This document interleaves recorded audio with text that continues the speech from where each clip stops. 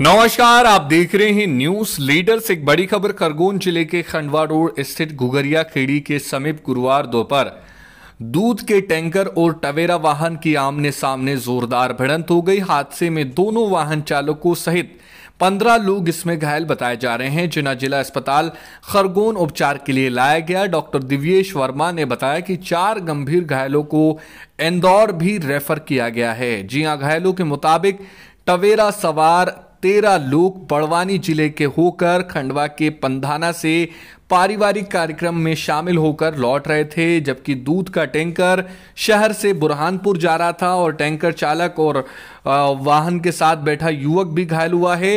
तस्वीरों में आप साफ़ देख सकते हैं, भारी भीड़ जमा है मौके पर। साथ ही दूध का टैंकर और टवेरा वाहन की जोरदार टक्कर हुई, जिसमें करीब पंद्रह लोग घायल हुए हैं। तस्वीरों में आप साफ़ देख सकते हैं, दूध पूरा रोड पर बिखरा हुआ है, भारी भीड़ जमा है।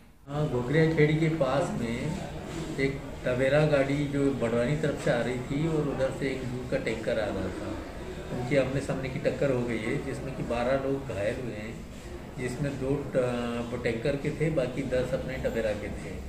उसमें से बारह में से चार जो घायल है, वो थोड़े गंभीर है और बाकी सभी का इलाज चालू कर दिया प्राइमरी ट्रीटमेंट सबको दे दिया है। पट्टी वगैरह कर दी, जिनको टाका लगाना था, टाका लगा दिया है। और जो चार गंभीर, उनकी स्थिति देखते हुए उनको इंदौर रिफर करना पड़ेगा।